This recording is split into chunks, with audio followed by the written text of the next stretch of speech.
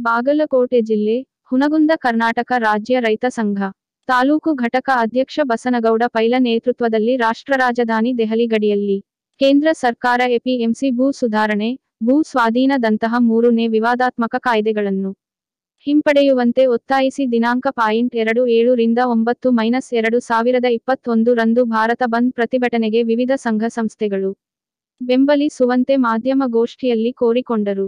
ರೈತ ಮುಖಂಡ ಅಮರೇಶ ನಾಗೂರ ಮಾತನಾಡಿ, ಭಾರತ ಸರ್ಕಾರವು ಕೃಷಿ ಮಾರುಕಟ್ಟೆಯನ್ನು ಹಾಗೂ ಕೃಷಿ ಭೂಮಿಯನ್ನು ಕಾರ್ಪೊರೇಟ್ ಕಂಪನಿಗಳಿಗೆ ಲಾಭ ಮಾಡಿಕೊಡಬೇಕೆಂಬ ಉದ್ದೇಶದಿಂದ ಕೃಷಿ ಕಾಯಿದೆಗಳನ್ನು ಜಾರಿಗೆ ತಂದಿದೆ ಹಾಗೂ ಸಾರ್ವಜನಿಕ ಕ್ಷೇತ್ರದ ಉದ್ದಿಮೆಗಳು ಬಂಡವಾಳಶಾಹಿಗಳ ಕಪಿಮುಷ್ಟಿಯಲ್ಲಿ ಭದ್ರವಾಗಿವೆ. ಹಾಗಾಗಿ ನಿರುದ್ಯೋಗ ಹೆಚ್ಚಳ, ಪೆಟ್ರೋಲ್, ಡಿಸೇಲ್, ಅಡುಗೆ ಅನಿಲ ದುಬಾರಿಯಾಗಿ ಜನರ ಜೀವನ ನಲುಗಿದೆ. ಎಂದರಲ್ಲದೆ ಮತ್ತೊಂದೆಡೆ ಕೊರೋನಾ ರೋಗದಿಂದ ಜನಸಾಮಾನ್ಯರು ತತ್ತರಿಸಿ ಹೋಗಿರುವಾಗ ರೈತರೊಂದಿಗೆ ಸೌಜನ್ಯಕ್ಕೂ ಸ್ಪಂದಿಸದೆ ಸರ್ಕಾರ ಸರ್ವಾಧಿಕಾರತ್ವ ತೋರುತ್ತಿದೆ. ಹಾಗಾಗಿ ಇದನ್ನು ಪ್ರತಿಭಟಿಸಿ ಭಾರತ ಸರ್ಕಾರಕ್ಕೆ ತಿದ್ದಿ ಬುದ್ಧಿ ಹೇಳಲು ಮೊದಲನೇ ಇನದ ಬಂದ್ ಕಾರ್ಯಕ್ರಮದಲ್ಲಿ ತಾವೆಲ್ಲರೂ ಸ್ವಯಂ ಸ್ಫೂರ್ತಿಯಿಂದ ಭಾಗವಹಿಸಬೇಕು. ಮತ್ತು ಎಲ್ಲಾ ಅಂಗಡಿಗಳು ಮುಚ್ಚುವಂತೆ ರೈತ ಸಂಘ ತಮ್ಮಲ್ಲಿ ಮನವಿ ಮಾಡಿಕೊಳ್ಳುತ್ತದೆ ಎಂದರು. ನಂತರ ಇಲಕಲ್ಲ ತಾಲೂಕಿನ ರೈತ ಸಂಘಟನೆ ಅಧ್ಯಕ್ಷ ಮೊಹಸೀನ ನದಾಫ್ ಮಾತನಾಡಿ, ರೈತರಿಗೆ ಮಾರಕ ಮರಣ ಶಾಸನಗಳು ಕೈಬಿಡಲು ಎಲ್ಲ ಸಾರ್ವಜನಿಕರು, ಸಂಘ ಸಂಸ್ಥೆಗಳು ಬೆಂಬಲಿಸುವಂತೆ ಮನವಿ ಮಾಡಿಕೊಂಡರು. ಈ ಒಂದು ಸುದ್ದಿಗೋಷ್ಠಿಯಲ್ಲಿ ರೈತ ಮುಖಂಡರಾದ ಬಸನಗೌಡ ದಾದ್ಮಿ ರಸೂಲಸಾಬ ತಹಶಿ ಅದಾರ ಗುರು ಗಾಣಗೇರ, ಇತರೆ ಮುಖಂಡರಿದ್ದರು. ವರದಿ ನಜೀರ್ ಪಠಾಣ ಹುನಗುಂದ. ಬಾಂಧವರು ಅವತ್ತ ಆ ಕಾರ್ಯಕ್ರಮದಲ್ಲಿ ಭಾಗವಹಿಸಿ ಈ ಕಾರ್ಯಕ್ರಮವನ್ನು ಯಶಸ್ವಿಗೊಳಿಸ್ಬೇಕಂತೇಳಿ ತಮ್ಮಲ್ಲಿ ನಮ್ಮ ಜೈ ಜವಾನ್, ಜೈ ಕಿಸಾನ್ ಅಂತೇಳಿ ನಾವು ಈ ಈ ಹೋರಾಟ ಮುಖಾಂತರ ತಮ್ಮಲ್ಲಿ ವಿನಂತಿ ಮಾಡ್ಕೊಳ್ತೇವೆ. ಧನ್ಯವಾದಗಳು. ಹೋರಾಟವನ್ನು ದೆಹಲಿ ಒಳಗೆ ನಡೆದಿದೆ ಹಾಗೂ ಎಲ್ಲ ಕಡೆನೂ ನಾವು ಹೋರಾಟ ಮಾಡಿದ್ವಿ. ಎನ್ ಎಸ್ ಬಂದ್ ಮಾಡೋದು, ಇದು ಬರೀ ಹೋರಾಟ ಪ್ರಕ್ರಿಯೆ ಆಯಿತು. ಈ ಕಾನೂನನ್ನು ರದ್ದು ಮಾಡಲಿಕ್ಕೆ ಈ ಬಿ ಜೆ ಪಿ ಸರ್ಕಾರದವರು ಒಪ್ಪ, ಒಪ್ಪು ಒಪ್ಪುವುದ ಒಪ್ಪಿಗೆ ಕೊಳ್ಳಾರಕ್ಕೆ ಈ ಮತ್ತೆ ಹೊಳ್ಳಿ ನಾವು ಇಪ್ಪತ್ತೇಳನೇ ತಾರೀಕು ದಿವಸ. ನಾವು ಸಂಪೂರ್ಣ ಸೋಮವಾರ ದಿವಸ ಸಂಪೂರ್ಣ ಅವತ್ತ ಹೋರಾಟವನ್ನು ನಾವು ಮಾಡಲಿಕ್ಕೆ ಇಚ್ಛಿಸಿದ್ದೇವೆ.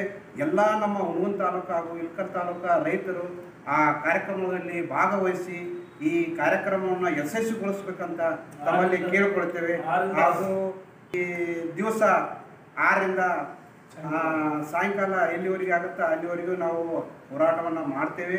ಆದ ಕಾರಣ ಈಗ ಪೆಟ್ರೋಲ್ ಮತ್ತು ಡೀಸೆಲ್ ಗ್ಯಾಸ್ ಈ ಎಲ್ಲ ರೇಟ್ಗಳನ್ನು ಹೆಚ್ಚಿಗೆ ಮಾಡಿ ಜನಸಾಮಾನ್ಯರಿಗೆ ಬದುಕಲಿಕ್ಕೆ ತೊಂದರೆಗಳಾಗಿದೆ. ಹಾಗೂ ಇದರ ಕಾರಣಕ್ಕಾಗಿ ಕೇಂದ್ರ ಸರ್ಕಾರ ಇದನ್ನು ಎಲ್ಲವನ್ನು ಸಾಮಾನ್ಯ ಜನರಿಗೆ ಪೆಟ್ರೋಲ್ ಕಡಿಮೆ ಮಾಡಬೇಕು, ಡೀಸೆಲ್ ಕಡಿಮೆ ಮಾಡಬೇಕು, ಗ್ಯಾಸ್ ಕಡಿಮೆ ಮಾಡಬೇಕು, ಹಾಗೂ ಕಾಳು ಬೆಳೆಗಳು, ಎಣ್ಣೆ ರೇಟು ಇವೆಲ್ಲವನ್ನು ಕೇಂದ್ರ ಸರ್ಕಾರದವರು ಹೆಚ್ಚಿಗೆ ಮಾಡಿದ್ದಾರೆ. ಇದರ ಮೂಲಕ ನಮ್ಮ ಸಾಮಾನ್ಯ ಜನರಿಗೆ ಇಲ್ಲಿ ಬದುಕ್ತಕ್ಕಂಥ ಸಾಮಾನ್ಯ ದುಡಿಯುವ ಜನರಿಗೆ ಬಹಳ ತೊಂದರೆ. ಇವತ್ತು ನಮ್ಮ ಪರಿವಿದರು ಇವತ್ತು ಉದ್ಯೋಗವನ್ನು ಮಾಡ್ತಾ ಇದ್ರೆ ಅವರ ಜೀವನಕ್ಕೂ ಕೂಡ ಇವತ್ತು ಭದ್ರತೆ ಇಲ್ಲ ಈ ದೇಶವನ್ನು ಮಾರಾಟ ಮಾಡ್ತಕ್ಕಂಥ ಹುನ್ನಾರ ನಡೆದಿದೆ. ಈ ದೇಶದಲ್ಲಿ ಕೋಮುಗಲಿವೆ ಎಬ್ಬಿಸ್ತಕ್ಕಂಥ ರೈತರನ್ನ ಒಕ್ಕಲೆಬ್ಬಿಸ್ತಕ್ಕಂಥ ಒಂದು ಕಡೆ ರೈತರನ್ನ ದರಿದ್ರರನ್ನಾಗಿ ಮಾಡ್ತಕ್ಕಂಥ, ಭಿಕ್ಷುಕರನ್ನಾಗಿ ಮಾಡ್ತಕ್ಕಂಥ ಈ ಒಂದು ಸರ್ಕಾರದ ವಿರೋಧಿ ಧೋರಣೆಯನ್ನು ವಿರೋಧಿಸಿ ಭಾರತ ಬಂದ್ ನಿಮಗೆ ತಾವೆಲ್ಲರೂ ಸಹಕರಿಸಬೇಕು. ಆ ಒಂದು ಕಾರ್ಯಕ್ರಮದಲ್ಲಿ ನಾವೆಲ್ಲರೂ ಭಾಗವಹಿಸ್ತೇವೆ. ಆ ದಿಶೆಯಲ್ಲಿ ಎಲ್ಲರ ಸಹಕಾರ ಅವಶ್ಯ ಅಂತೇಳಿ ಕರ್ನಾಟಕ ರಾಜ್ಯ ರೈತ ಸಂಘದಿಂದ ಮನವಿ ಮಾಡಿ ಇವತ್ತು ರೈತರು ಕೋವಿಡ್ ಅಂತ ಸಂದರ್ಭದಲ್ಲಿ ಅತಿ ಅತಿ ಹೆಚ್ಚು ಕೃಷಿ ಉತ್ಪನ್ನಗಳನ್ನ ಬೆಳೆದು ಇವತ್ತು ಬೆಲೆ ಇಲ್ಲದೆ ಪರದಾಡ್ತಕ್ಕಂಥ ಸಂದರ್ಭದಲ್ಲಿ ಇವತ್ತು ನಾವು ರೈತರು ಸಂಕಷ್ಟದಲ್ಲಿದ್ದೀವಿ, ರೈತರಿಗೆ ಬೆಲೆ ಸಿಗ್ತಾ ಇಲ್ಲ. ಅದೇ ರೀತಿಯಾಗಿ ಈ ಕೇಂದ್ರ ಸರ್ಕಾರ ಈ ರೈತರ ಒಂದು ಪ್ರಮುಖ ಮೂರು ಕಾಯ್ದೆಗಳನ್ನು ರದ್ದುಪಡಿಸಬೇಕು. ಆ ರದ್ದುಪಡಿಸೋಕ್ಕೋಸ್ಕರ ಇಪ್ಪತ್ತೇಳು ಸೆಪ್ಟೆಂಬರ್ ಎರಡು ಸಾವಿರದ ಇಪ್ಪತ್ತೊಂದರಂದು ಭಾರತ ಬಂದ್ ಕರೆ ನೀಡಿದ್ದರಿಂದ ಹುಣಗುನ್ ತಾಲೂಕಿನಾದ್ಯಂತ ಸಂಪೂರ್ಣ ಬಂದ್ ಆಚರಣೆ ಮಾಡಲಾಗುವುದು. ಆ ದಿನದಂದು ಎಲ್ಲಾ ರಸ್ತೆ, ಶಾಲಾ, ಕಾಲೇಜು ಅಂಗಡಿ ಮುಗ್ಗಟ್ಟುಗಳನ್ನು ಬಂದ್ ಮಾಡಿ ಎಲ್ಲ ನಾಗರಿಕರು ನಮಗೆ ಸಹಕರಿಸಬೇಕು.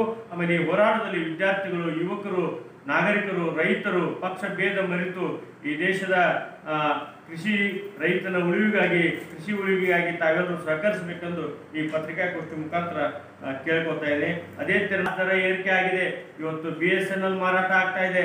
ಇವತ್ತು ಏರ್ಪೋರ್ಟ್ ಮಾರಾಟ ಆಗ್ತಾ ಇದೆ. ಇವತ್ತು ರೈಲ್ವೆ ಮಾರಾಟ ಆಗ್ತಾ ಇದೆ.